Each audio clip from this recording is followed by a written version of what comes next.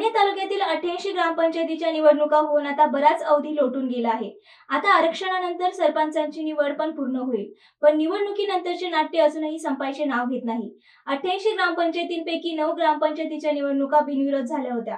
मात्र ज्या ठिकाणी निवडणुका झाल्या होत्या त्यातील काही गावांमध्ये गाव कारभारी होण्यासाठी मोठ्या प्रमाणात पैशाची वाटप झाल्याची चर्चा आता तालुक्यात रंगली आहे.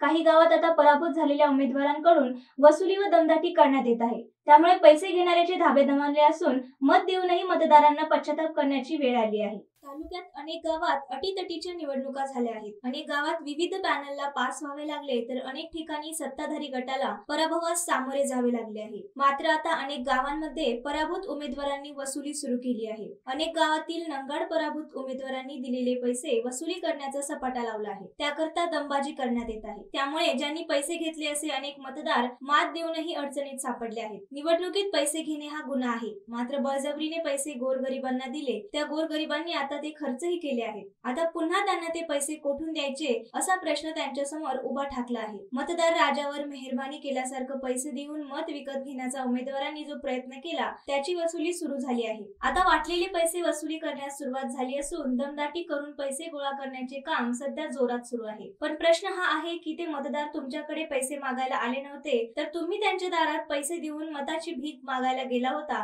ही गोष्ट लक्षात घेण्याची गरज आहे. निवडणुका दर पाच वर्षांनी येणार आहे. त्यामुळे असे करणाऱ्यांना मतदार पुन्हा दारात उभे करणार नाही अशा प्रतिक्रिया उमटू लागल्या आहेत. Bureau report Maybhumi news Parner. Ahmednagar जिल्ह्यासह संपूर्ण महाराष्ट्रातील प्रत्येक घडामोडीची अपडेट पाहण्यासाठी मायभूमी न्यूज आवाज जनमनाचा या चॅनलला सबस्क्राईब करा आणि बेल आयकॉनवर क्लिक करा.